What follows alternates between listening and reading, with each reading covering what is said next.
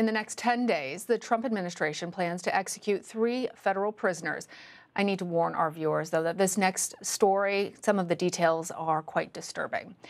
One of the people scheduled for execution is Lisa Montgomery. Her execution is set to take place this coming Tuesday, January 12th. She is the only woman on federal death row and would be the first woman executed by the U.S. government in nearly 70 years. In 2004, Montgomery connected online with a 23 year old pregnant woman named Bobbie Jo Stinnett, a dog breeder. Montgomery went to Missouri under the guise of buying one of her dogs. Once inside the home, Montgomery attacked and strangled Stinnett. Montgomery then cut the unborn baby out of Stinnett's body and tried to pass the child off as her own. She was tried and convicted of federal kidnapping and capital murder. Joining us now is Montgomery's attorney, Kelley Henry. She is in Terre Haute, Indiana, where Montgomery is set to be executed this week. Thank you for joining us. When was the last time that you spoke with your client, and do you know what her current state of mind is? I last saw Mrs. Montgomery in, pub- uh, in person on November 2nd of this year. We did speak by telephone yesterday afternoon. She's not doing well, and we have filed a petition for writ of habeas corpus in the Southern District of Indiana raising the issue that Mrs. Montgomery is currently incompetent to be executed. And you have appealed her case uh, multiple times. Her case has been appealed. You've asked for clemency. Uh, you've asked that she spend her life in prison rather than face execution. Why do you believe that this is the best option for society, the best option for your client, um, and and something that you think would still provide some measure of relief to Stinnett's family? So we know from the prosecutors who support our petition for executive clemency that Lisa Montgomery is the sort of person, because she suffers from severe mental illness, who is more appropriately punished with life imprisonment without parole. When you look at Lisa's history, you see time after time after time where people could have intervened and gotten her the help she needed, and none of this would have ever happened. So while Lisa is responsible for her actions and deserves life without parole, as she was willing to plead guilty to at the time of trial, her lifetime of being trafficked sexually to men, anally, orally, vaginally raped, sometimes by three or four at a time, and then they would urinate on her like she was trash. That led to a history of serious mental illness. And given what happened to her and the fact that society never stepped in to help, life imprisonment without the possibility of, parole is punishment enough, as over 1,000 advocates have said in support.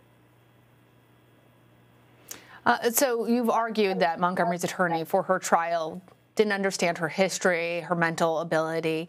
Has the state deemed Montgomery mentally ill? Uh, obviously, the trauma that she suffered that you detailed is horrific, but uh, I, am wondering what is what has the state declared in terms of her mental competence?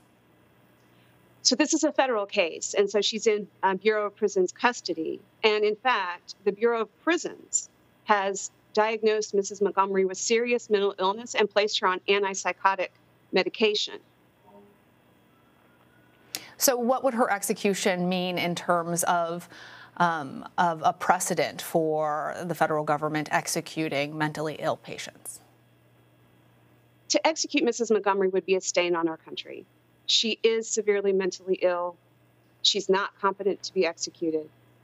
And she is the only person to have committed this crime to face execution. And that is because other prosecutors, again, more than 41, and 800 advocates for women of who survive sexual and domestic violence and human trafficking support our plea for life imprisonment without parole for Mrs. Montgomery. And I should add that tomorrow is um, Human Trafficking Awareness Day. That would be the perfect time for Mrs. Montgomery to be granted executive clemency. Are there any more appeals that could halt her execution, or are you really counting or hoping rather for executive clemency? After Mrs. Montgomery's mental illness deteriorated to the point of incompetence, we filed a petition with the Southern District of Indiana. And so that petition does request that her execution be stayed pending a determination of her current competency, which is required by the United States Constitution. It will be up to the courts to adjudicate our claim. We certainly are requesting a stay of execution. This is a obviously a, uh, a horrific uh, case. Um, I'm, I'm wondering if you can give our viewers some understanding of your perspective. Are you opposed to the death penalty on principle, or do you think in the particular case of your client, Lisa Montgomery, it is not warranted? In the particular case of Lisa Montgomery, this case, the death penalty is absolutely not warranted there is a saying in the capital defense community that those who get the death penalty get it not for the worst crime, but for the worst lawyer. I have never seen a more massive case of ineffective assistance of counsel as what Mrs. Montgomery received at trial. Her trial lawyer proudly boasts that he does not follow the ABA guidelines for the performance of counsel in death penalty cases. Your preamble to the case to this um, segment proved to me once again how poorly he did because the public is only seeing the false picture of Lisa Montgomery that was presented by her incompetent trial attorney. And when you've done the work as long as I have, I've tried cases, capital cases, I've successfully settled over two dozen capital cases. If Mrs. Montgomery's case had been handled correctly, she would have pled guilty to life imprisonment without the possibility of parole, which was what she was willing to accept from the moment of her arrest. Bobbie Jo Stinnett was eight months pregnant when she was killed by your client. I, I understand um, that uh, that your perspective is that there were mitigating circumstances given her mental um, incapacity and the trauma that that your client survived. But this, the facts of the case are still awful the baby that she cut out of, of uh, Ms. Stin, Mrs. Stinnett survived and was returned to her father. I believe that that baby is a teenager now. Have you heard from Stinnett's family about Montgomery's execution?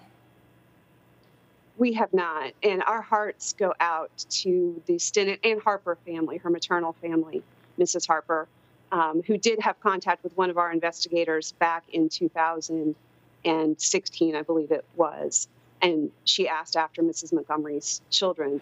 That family's pain is real, and if we could take it away, we would.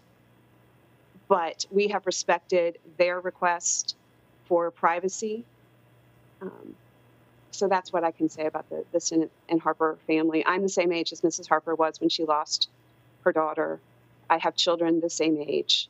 I cannot imagine her pain, but that no less diminishes the fact that Mrs. Montgomery has four children and 12 grandchildren and a sister who will be terribly harmed and traumatized by this execution. And there's simply no reason to create more victims and have more death. Kelley Henry, appreciate you coming on and explaining um, some of what the public perhaps doesn't know about your client, Lisa Montgomery. Thank you. Thank, thank you for the opportunity.